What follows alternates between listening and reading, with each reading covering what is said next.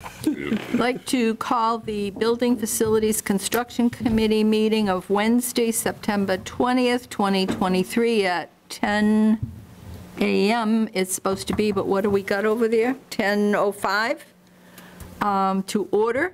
And uh, just go around the table, give your name, and so for the recorder, Linda? Linda Brown. Ray McBots. Bob Wormy? Fred Fontaine. And and Shirley Mazinski, Chair, and we have um, Matt Benoit uh, and Matt Wojcik with us, the uh, administrator. So the first item on the agenda is our um, meeting schedule. We've got to get this squared away for Jen.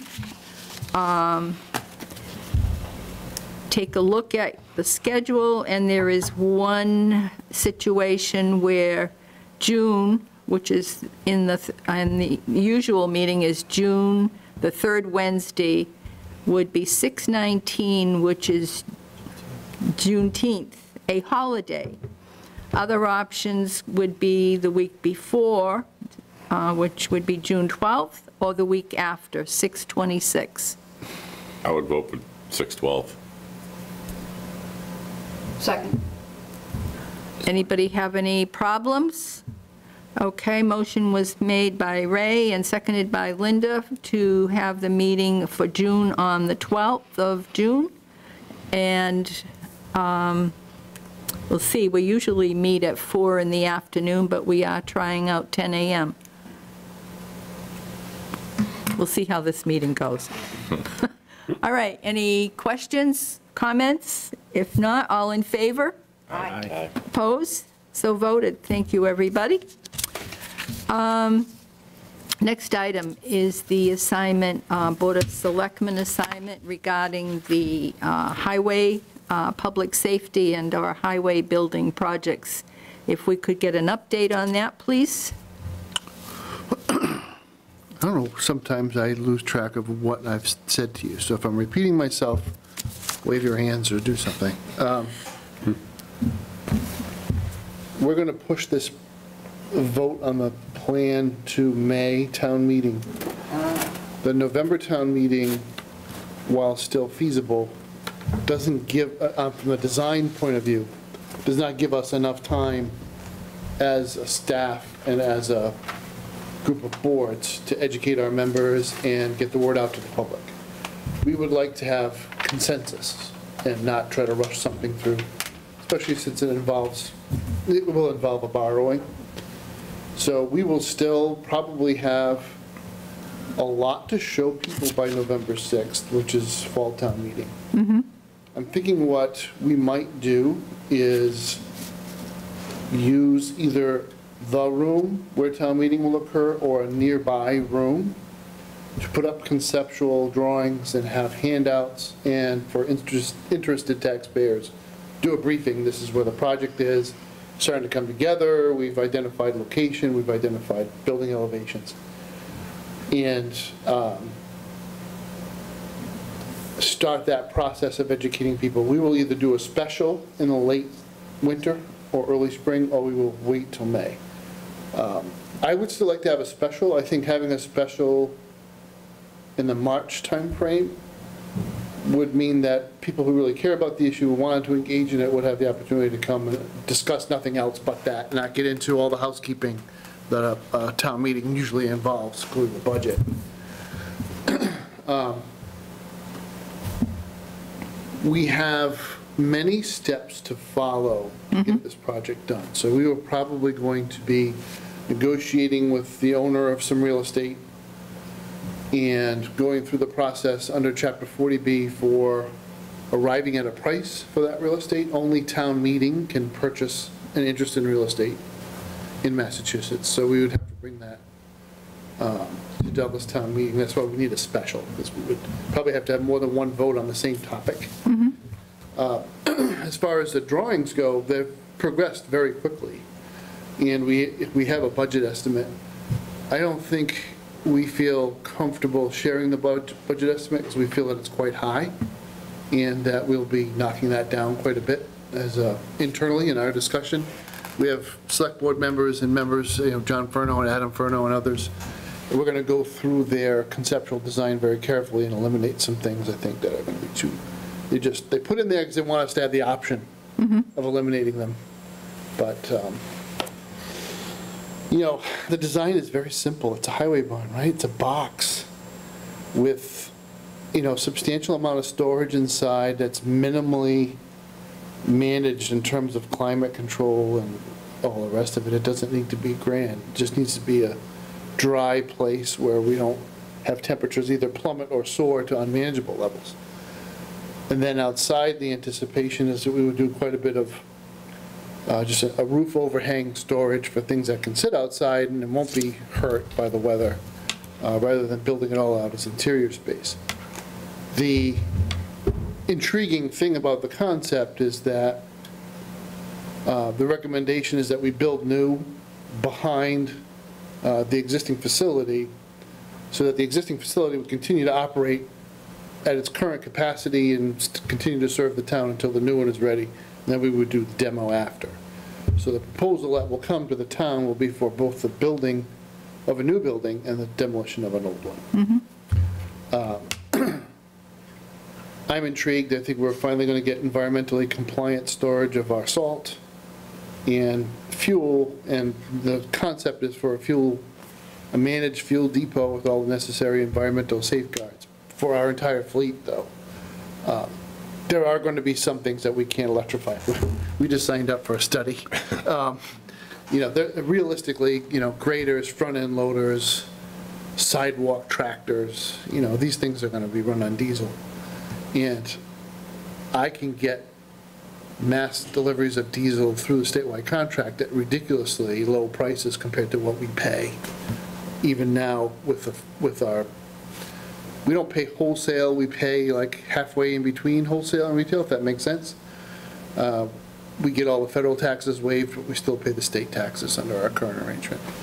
But quantity is the name of the game, and the town doesn't buy enough heating fuel as a municipality. We would if we had the schools, but they have their own contract. So it's just our little buildings, we don't buy enough to get major volume breaks.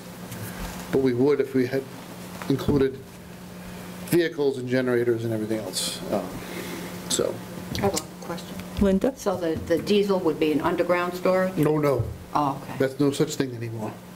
Oh, No, so it, almost all of the expense now has got nothing to do with the tank, and it has everything to do with the environmental controls around it.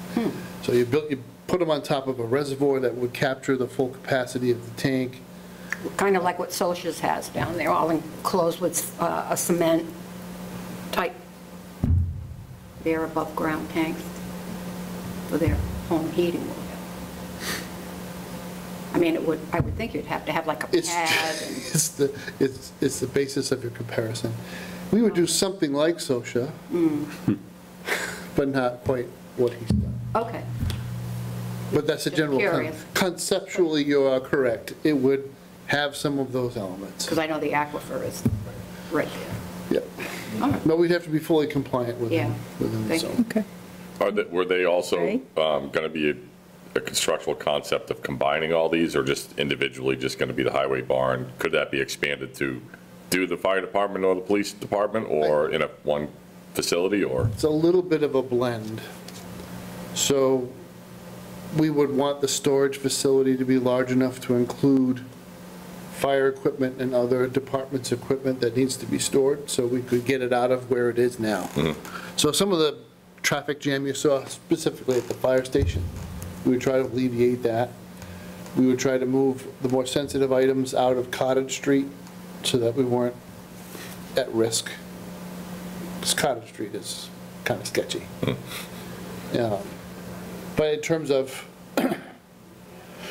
whether we have the space and whether or not highway plays nice with the other departments, I think we've kind of turned the corner on that question. Uh, Police and fire can share a facility, and that they have, along with EMS, and they have a number of potential opportunities to consolidate some assets. Highway just doesn't work that way. It's not, it's not a marriage you see in very many communities. So, Anyone else? Questions? Fred? Pu- Pushing, I think pushing it off is a good idea, obviously. My only concern is some of the safety things that I saw over there. Is some of that being addressed in the meantime? Because it's going to be quite a while before we break ground. Well, that's a good question. I mean, we, we already do a, a number of things to try to safeguard people. Um, We store a lot outside that we would rather not. And, um, you know, obviously, we have the office trailer there to move the staff out of the facility. So that's, that's 90% of our concern. Um, In terms of whether the building holds up or not, we're still up this long. You know, We'll burn some sage, we'll sacrifice a small goat, we'll do whatever we need to do. Peter's going to have a field day now. Are you also, anything new that's being built, are you also looking at solar to get as much as we can? Yeah, so that's, part of what we asked for in the design would be as much solar as the roof can safely handle. Um, I think that they were, they being Weston and Yeah. Sampson, have always defaulted to having that power, uh, I don't know if you call it behind the meter or in front of the meter, I forget what, how it works, but connected to the grid. And we wouldn't want to do that. We would want battery supply, so we'd be our own off-taker right on the site. Um, To me, that's the ultimate ideal situation. If the grid goes down, we would have some combination of backup generator that would be powered off the diesel at the fuel depot and, you know, solar battery backup. And obviously, we would default using the energy from the solar first and then kick the generator on if it was needed. But the highway has to run. Mm-hmm. You know, so no matter how bad the storm is, we need our highway department to run. Um, right, So that might add a little bit, but not much. I mean, the real cost here is actually not even the building itself. The cost is some of the interior fit out and then running the utilities back to the, the site and general site prep.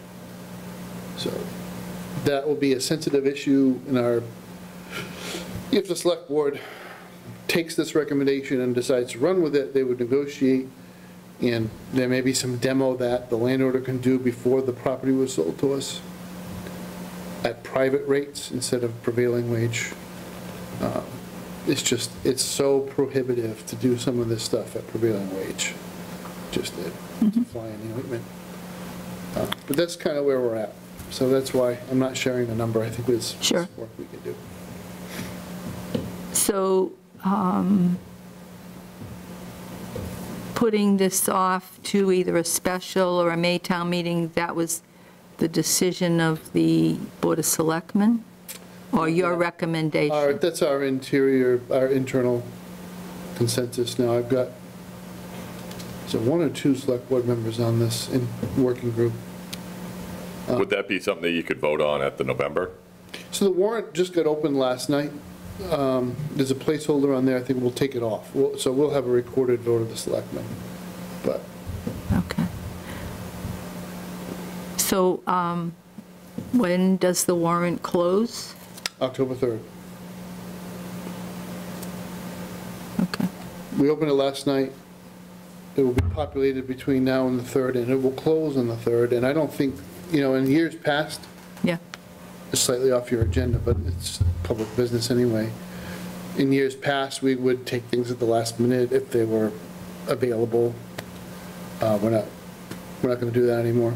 okay, We want, we want to settle the warrant and educate it. Finance Committee and the community and not have these last-minute run-ups. okay. And just when is the town meeting going to be? November 6th. Okay, Yeah, the moderator had a conflict, and then we had student, uh, parent-teacher night or something that the schools do every year, and yep, there's just too much sure. To plan around. Okay, anybody? Yeah. Yeah, Linda? We're thinking about maybe setting up a different room at town meeting in November to view these things. I recommend putting them out in the hallway, Yeah, eh, because people aren't going to go a separate place, you know, when they walk by, they get into the building, the school, they're going to say, oh my God, what's this, you know, but if, you know, if you could future, Yeah, what I would hope to do is, since we use the auditorium at the high school, use the cafeteria for. And we to have done speak- that. To to speak to it. We have done that in I the agree with past. putting signs out in the hallway. Yeah. This way to the egress, right? Yeah, But there would have to be a separate time for people to go in there so they don't miss Right. town meeting. But people that come late, they get there at one minute to seven, they're not going to have the opportunity. Yeah, we're just moving You know. stuff out. okay. Anything else on that issue? Good? All right, we'll move on to, again, status of the oil spill. So I'll, I'll make quick work of your agenda. I'll Yeah. just- From the, we really have updates for you on D and F. Nothing else has changed on the others. D and don't- well, I have a question on D. Okay, So tell me about the oil spill. nothing new. So we're still in limbo. Yeah, the lab is still analyzing the results. So that, I wrote down, test was taken for air quality Yeah. yesterday, I wrote, which was before our last meeting. So no results from that? Okay. And item B, green communities, you're looking at grants. Grant, uh, we don't have a response for the award yet. We submitted several months ago. I usually expect a response September, October, so maybe by our next meeting, we could have an answer. Okay. Municipal backup generators. On green communities, let me just emphasize, let me just Yeah. flag something. This is for future reference. The green communities assessment, so we went with a new consultant this year, and they went through looking at our project list and tweaking it and adding some things. They identified the age of the transformers at the school campus as an issue. And you know, my position doesn't matter, I don't make decisions, but I'll tell you that in terms of recommendations that I can make, it's non-negotiable. We, we've got to, we've got to address the age of the transformers at the school. You can't run a school department in four buildings with no power. Mm-hmm. And those things are what, 23 years old? Yeah, they were just under the threshold of minimum eligible for funding, so we couldn't put them on. Yeah, so the, the new generation of transformers does not improve the efficiency of the equipment to the point where it qualifies as a green communities project. That doesn't mean that we can sit tight with the transformers we have. They are, they're just, they're really old. Um, They carry a pretty heavy load, schools are pretty busy, and 23 years, 22 years is just too long. Uh, So it's time. And uh, that's not the kind of thing you wait for it to break before you fix it, Right. because there's a queue. You know, it's not like we can go to Walmart and buy some transformers. Uh, We have to wait in line and get them, and then line up the labor, because it's a pretty sophisticated project if you deal with electricity, and so. Yeah, that's a project that's, So We- that's, We're going to release a number for the capital budget, and we're immediately going to deduct the cost of transformers, because I don't know why anybody would argue with it, but, so, there you go. You're the committee. Any questions, anybody? You've been briefed. You know, these things pan out, I gotta say. When we look at our energy usage as, a- as a municipality, it does go up because Yeah, the, you know, everything that we do now is electric. Yep. So you would expect some of these things. But in terms of our total energy usage, the amount of diesel fuel, we- uh, heating fuel we've saved, and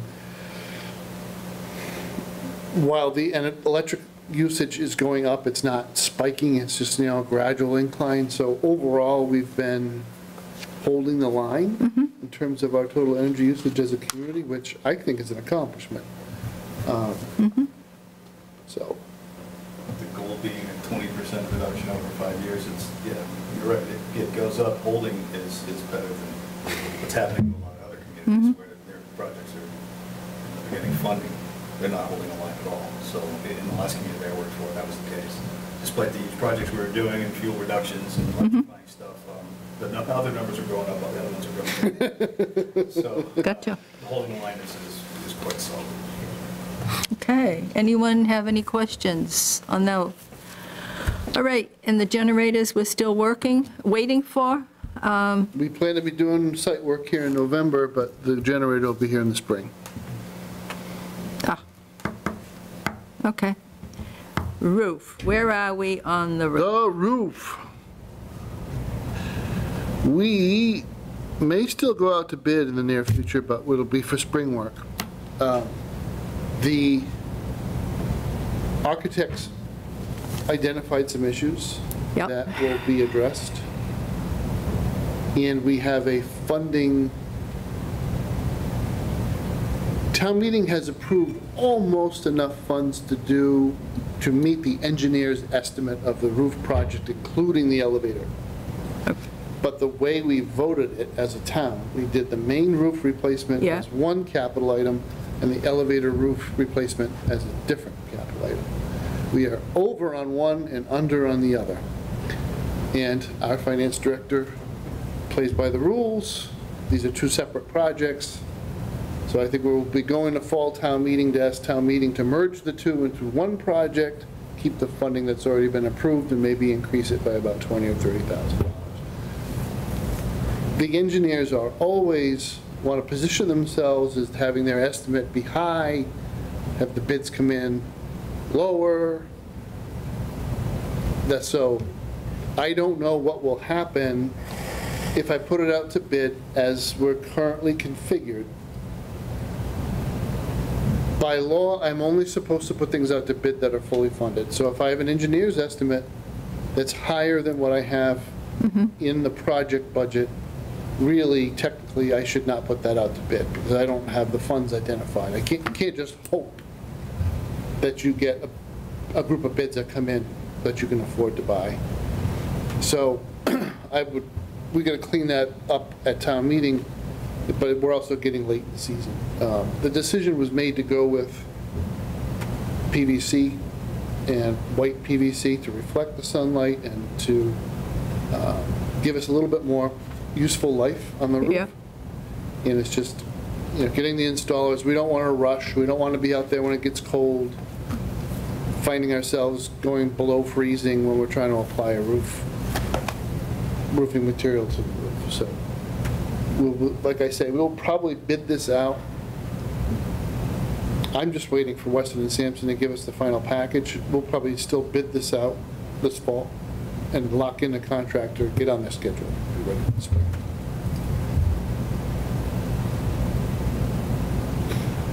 Questions, anybody?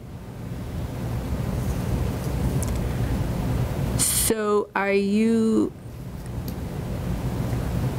saying that this is going to come to Fall Town Meeting for extra money?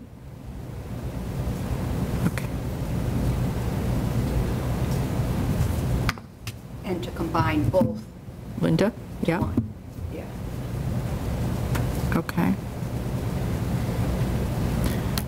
Any questions on that? No. All right. The fire alarm, we're still waiting for the roof to be put on, right? Mm-hmm. Fire station upgrade? So we've had a lot of activity here. Weston and Sampson has agreed to provide us with the architectural services we need for the interior. We'll probably put up some walls, change the way the air flows inside the building to be safer. McRitchie claims they didn't understand that we want that dinosaur dragon breath furnace taken out of there. I don't know how they missed that. It was like, you know, it's oversized. The thermal mass on this thing is like outrageous. It- So we just need a more efficient, modern Yep. boiler system. So they went back to the drawing board a little bit with that. But once, now that Weston Sampson has agreed to do the architectural piece, we're proceeding, I think, next week. It's, uh, John's on vacation over the weekend. It's either Tuesday or Wednesday. McRitchie, Weston and Sampson, and the town will sit down and get to a Good. conclusion on that. Not a Okay. conclusion, but a bid package. Yep. Get a timeline for a bid package. Anyone questions? Okay. APA funding, I think you're, So- you're using the APA funding. A lot of is- this is ARPA funds. Yeah. Um, On the highway barn, I just, we had to remember this. Uh, The Massachusetts General Assembly gave us $25,000 in an earmark for the design services. So Gene and I are going to work the reimbur, it's a reimbursable drawdown, so we're going to, Weston Sampson just started billing us for the work, so we paid a small bill. We paid like, whatever, the the initial retainer was like 1,200 bucks or something. But their next invoice will score against the state grant, and we will be trying to preserve the ARPA funds uh, for that work or for really any other item on the ARPA list. So, Okay. Questions, anyone? We have 14 months to get our ARPA money out the door. Very good. Hopefully it works.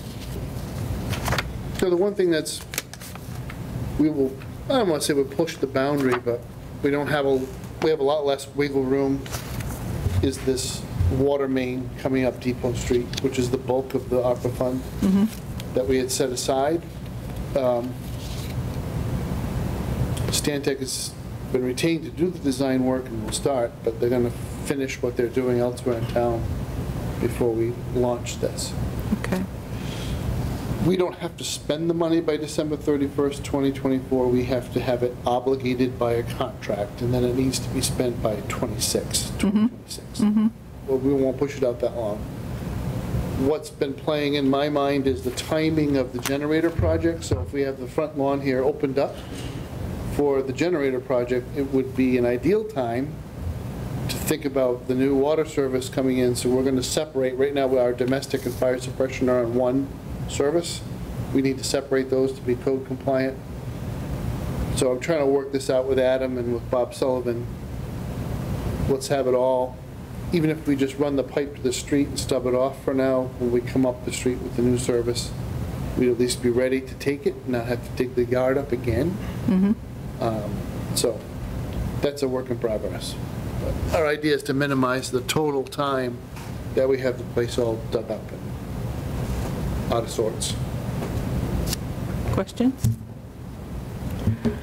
Okay, thank you for all the input. Uh, Hope some of these things move on, um, get them off our list, um, so we can take on other issues if need be. All right, Matt, do you have anything to add? You're good? All right. Next on the um, agenda of minutes of July 19th and August 16th.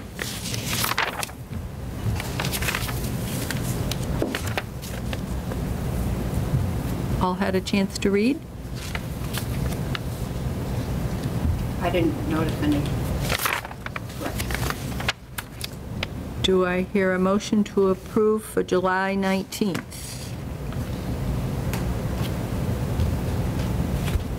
I make a motion to approve the July 19th, 2023 meeting minutes as presented. Do I hear a second?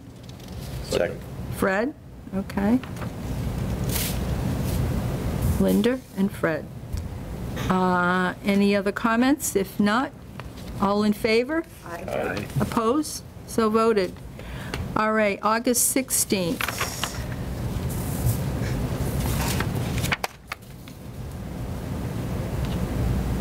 I make a motion to approve the August 16th, 2023 meeting minutes as presented. Second. Linda and Fred. I just have one question on um, two. I'm not sure, on the second line on two, environmental was here yesterday taking what he hopes is the last LET of data. Huh. Should be set, I'm sorry? should be set, right? Last set of data, or data. Good point. Mm. Yeah? Data, Yeah. data, tomato, tomato. What he hopes is the last, and it says L-E-T, It should be set. Set. set. All right. Good catch.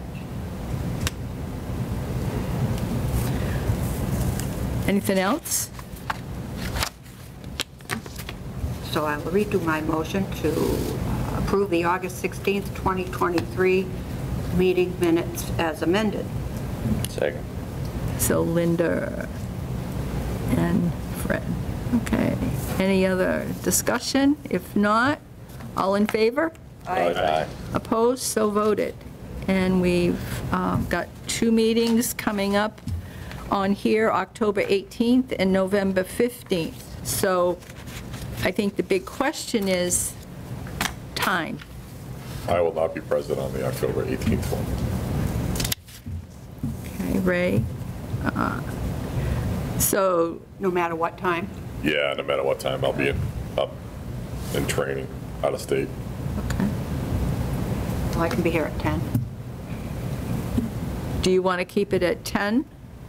Yeah, That works better for you? it does. with me. How about the Matt's? Yeah? Direct- I'm here. Just questioning.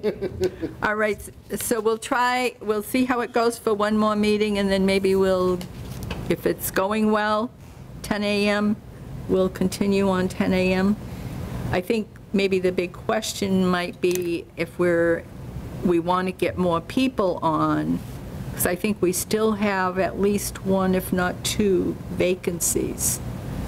Would there be a possibility to move it to 9 AM? Like, not that I'm going to be here then, but in the future, just because, so, I mean, I, I obviously have, I think we all have jobs to go to. Would 9 AM be easier than 10 AM? I don't care either way. I don't care. You guys can take the vote oh, up in October after, after the 10 o'clock one then, so. Too early for you, Shirley? I'm up uh, oh, earlier than probably all of you. Um, There's a rooster? No, No. my dog comes and wakes me up. And then we have to go for a walk, which is good for me, too. Um, of course, come winter time. Yeah, that could be, let's get the roads cleared, or, or are we Or going to meet all? sidewalks Yeah, cleared. yeah. Now, if it's anything like last year, go pick some flowers. At least till February, right? Jesus Christus. How about we keep it to 10 for the next meeting? See how we're doing. Sure. Is that good? Yeah. I'm not going to be here anyway, so. That- okay.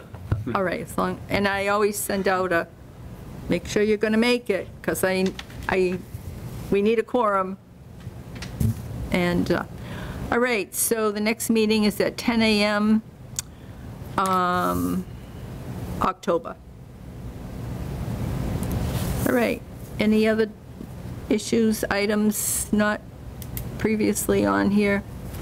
If not, motion to adjourn. I make a motion to adjourn at 10:35 a.m. Do I hear a second? Second. Linda and Bob. Okay, all those in favor? Aye. Opposed? So voted. Thank you, everybody.